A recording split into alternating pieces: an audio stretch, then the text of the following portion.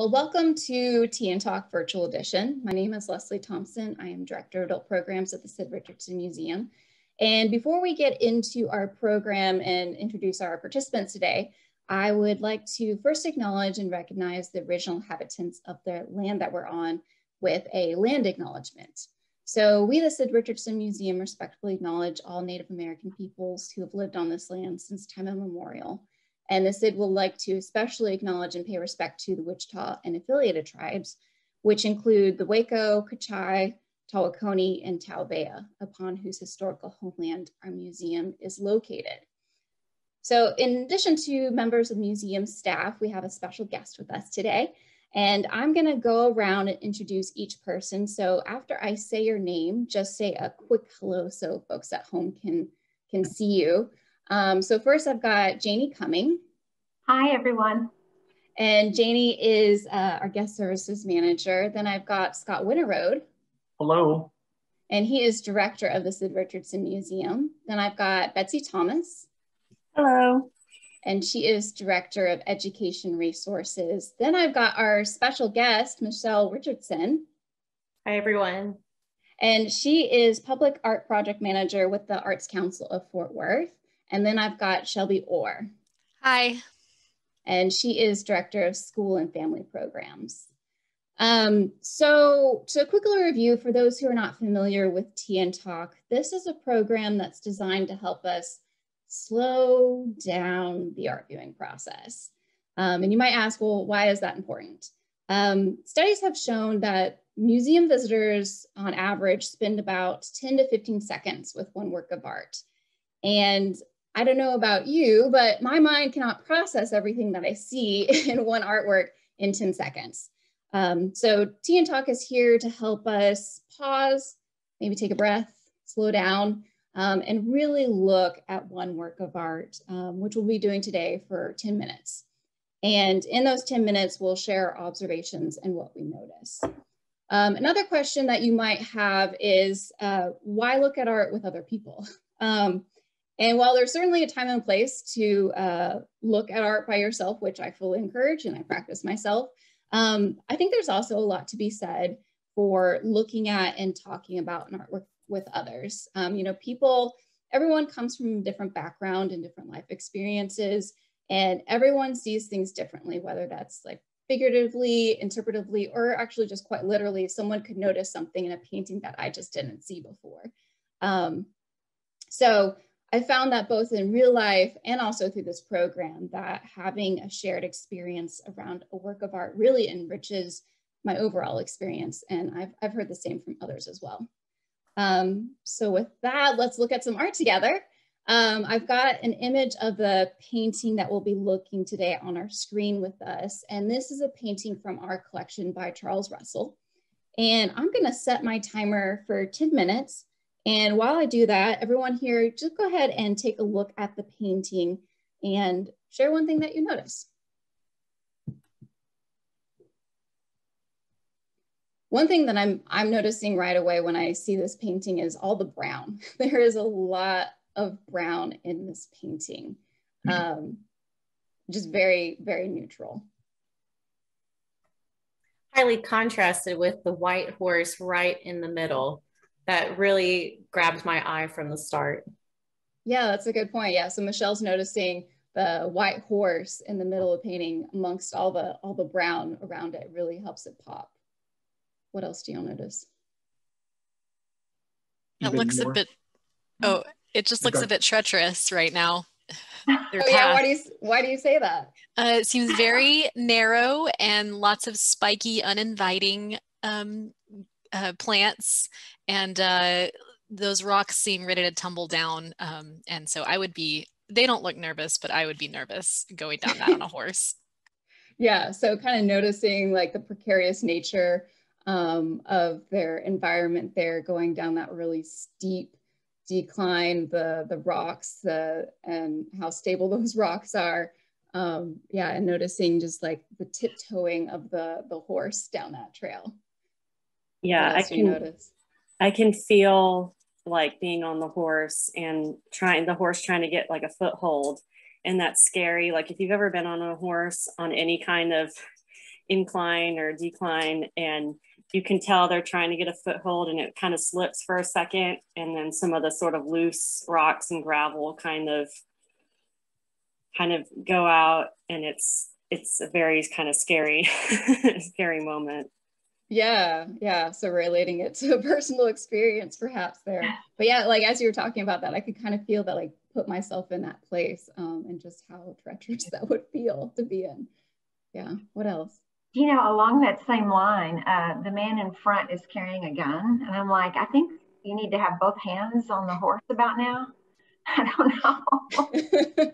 yeah. So noticing the, now noticing the details and um, the objects um, and this man, the man in the front in particular, how, yeah, he has one hand on the, on the reins and one hand on a, on a rifle or a gun. Um, and that must take a lot of skill or he just has a lot of confidence there. just going to say someone who's definitely experienced, maybe has done this before, has been in a similar position. Right. Yeah. Yeah. So it might speak to, yeah, his experience. What else? I hadn't noticed his shadow that's cast there right behind him. And also the fact that the shadow play and everything underneath the horse really just makes the horse stand out, the white horse again. So very yeah. prominent. Uh, okay, yeah, yeah, that's true. Yeah. So um, Scott's noticing this shadow on the rock um, cast behind and up on the top there behind the horse. Mm-hmm. You can see the horse and the rider um, and kind of how the horse is really kind of in spotlight there. Yeah. yeah. What else do you notice? Did anyone else get the feeling that the shadows were kind of soft? Like I've been trying to figure out what time of day this might be. Like you know, it's almost in some ways I feel like it might be like sunset, like, you know, or maybe it's sunrise and they're, you know, headed out somewhere. But I've been trying to figure out what time of day this might be. And I've been trying to compare it to the Monet haystacks and, you know, what time of day would that have been? Uh, but I, I think the shadow like softness compared to the harsh terrain is pretty interesting. That's a really good point. And that's actually, that's a really good question because you can see in the far left distance on the horizon, you can see the light and, you know, like it's either dawn or dusk there, how it creates that changing of colors and changing of light. Um, what do you guys think? Is it sunrise? Is it sunset? What time of day are we talking about here?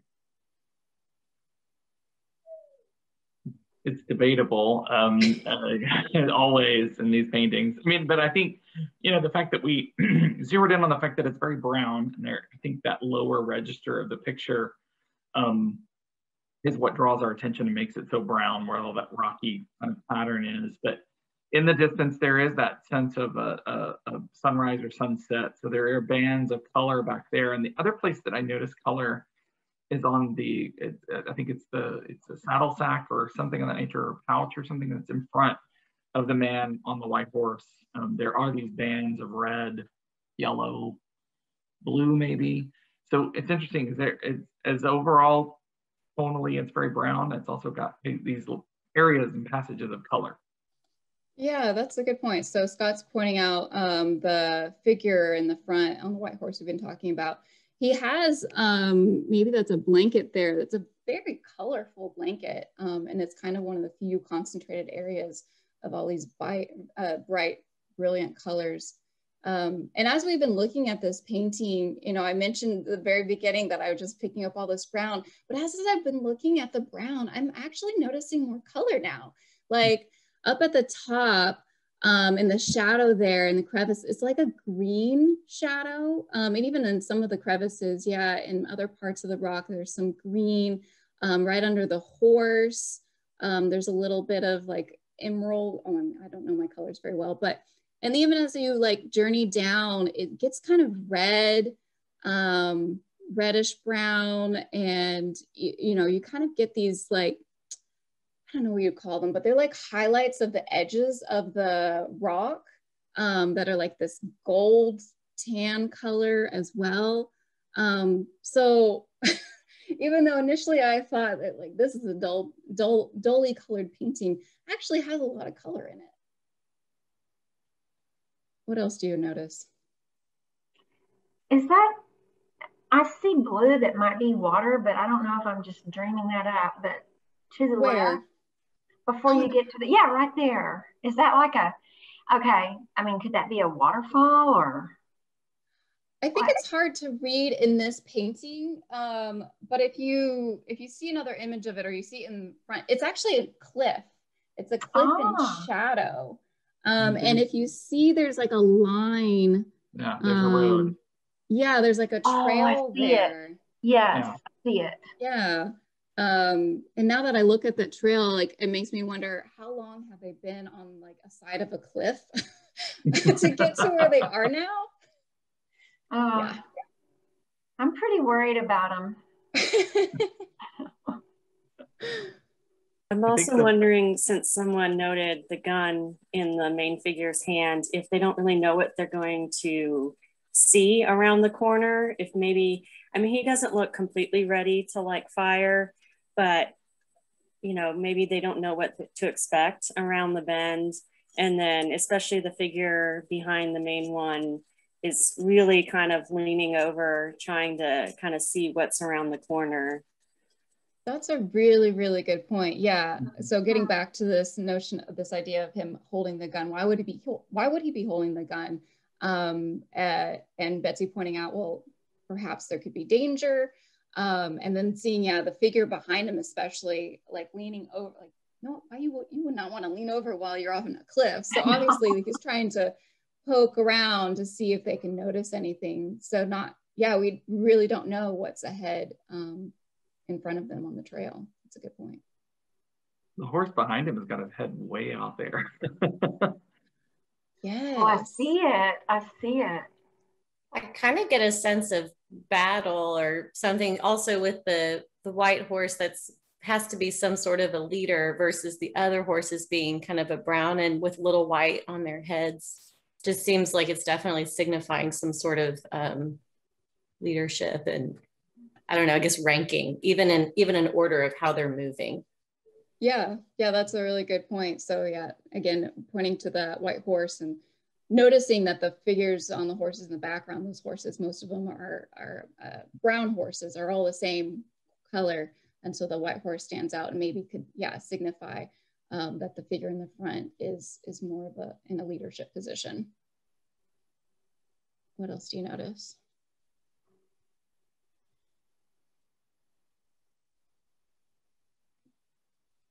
I'm noticing that there's, you know, we're, we kind of started touching on the narrative a little bit of like, you know, why are they there? What's coming? Um, and noticing that there, at least of what we can see, there's only four figures here. So that's a pretty small group. Um, and the figure in the back to the immediate um, figure behind the front figure looks like he has maybe a rifle across, yeah, on his saddle there. Um, I don't know what the other figures might have with them, mm -hmm. but they're obviously prepared for something, but there's not a lot of them there. So I don't, it doesn't seem like they're searching out um, battle or, you know, uh, of some and degree. It's probably best practice to have one on you when you're out because like Betsy said, you don't know what's around the corner. You're kind of in the elements and uh, might be something out out there. Yeah. And as we saw that behind them, that trail, they they're really out there. uh, we have no idea how far they've traveled by this point. Um, and um, we really we so we've we've met our time here and we just uh, we just started touching on the narrative here um, but i feel like we could um, we've kind of touched on I, I, think what leads us to the sharing the title um, with y'all which is um, it's uh, called there may be danger ahead uh, from 1893 um, and i think we, we really kind of touched on that with betsy pointing out the gun and, and why um, what they might be precipitating um, around that corner. Um, but uh, I'll leave a, a, link to this painting um, you can see on the, our website um, in the comments in the description of this of this painting. But we'll we'll wrap up our part of the conversation here today. Um, but we'd love to keep the conversation going for those who are watching this. Um, if you have questions, um, comments or observations, um, please do leave them in the comments below. We'd love to hear from you. and hear what uh, you notice in this painting. And I hope that watching this program maybe encourage you to take a pause in your day um, and slow down and engage deeply with one work of art with us. Um, but otherwise, thank you everyone for joining us for Tea and Talk today.